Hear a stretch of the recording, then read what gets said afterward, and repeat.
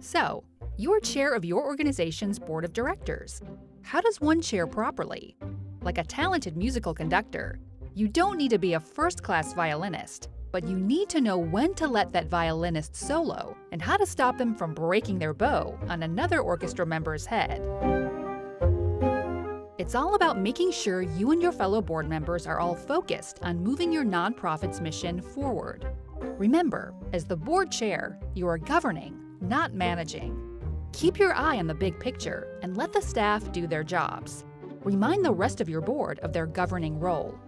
Just as a conductor doesn't need to play the instruments as much as shape and direct the music, a board chair is there to create a space for everyone to feel included and make sure all responsibilities are carried out.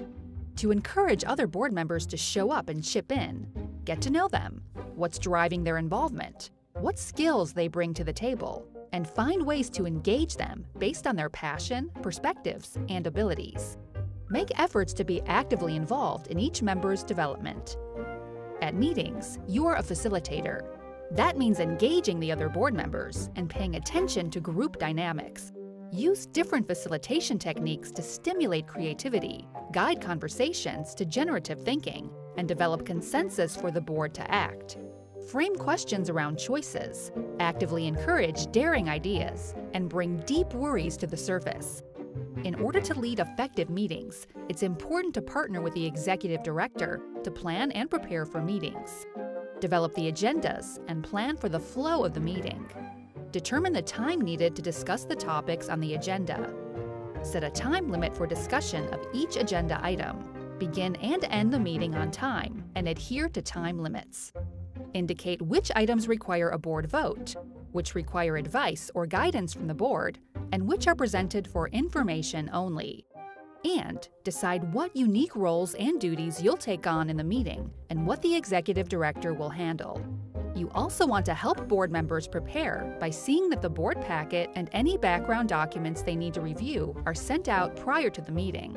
You and the executive director will be a sounding board for each other, you are also responsible for ensuring the board does the executive director's annual review and they are fairly compensated. But beyond determining if they're doing a good job or not, it's up to you to make sure the executive director is getting the support they need. Pay attention to the size of the job to ensure it's reasonable.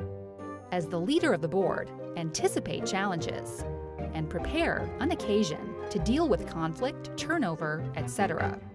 It's not so much about looking good in your role as board chair. It's about ensuring the success of your peer board members and the success of your organization.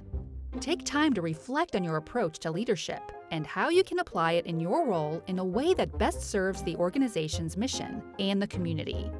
A board chair is a diplomat, coach, sounding board, pilot, superhero, a leader,